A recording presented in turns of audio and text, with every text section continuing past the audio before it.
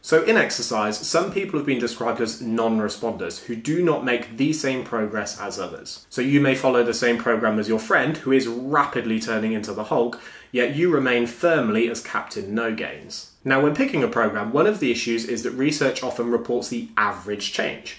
For example, let's say a group of people gain 10% on their biceps. This could range from some people gaining nothing on their biceps to some people gaining 20%. So, by understanding how much these results can vary, it allows you to make educated decisions on how best to adapt your routine. So, I'm going to give you a couple of examples. So, when looking at inter individual data, one study reported cross sectional area changes ranging from minus 3% right up to plus 18%. Changes in maximum voluntary contraction range from plus 52% right down to minus 1. In another study, very wide inter individual variability was again observed in resistance training, endurance training, and concurrent training.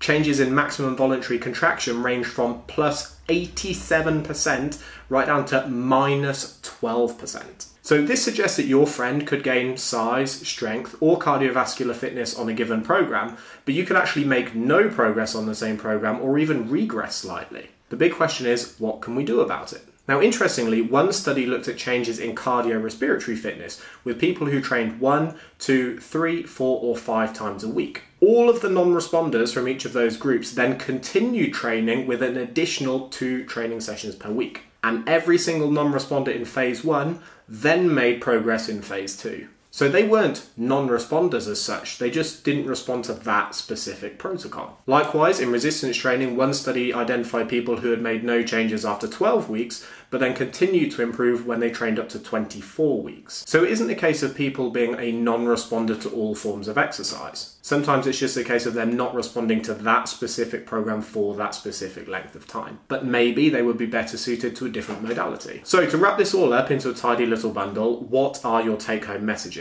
Well, very simply, a training program that works well for one person doesn't necessarily mean that it works well for you. So I believe it's a sensible approach to use the research we have to form the basis of your program, but doing it open mindedly so you are not afraid to adapt your program to try and get better results for your own personal circumstances. So that's it. Hope it's been helpful. Thank you.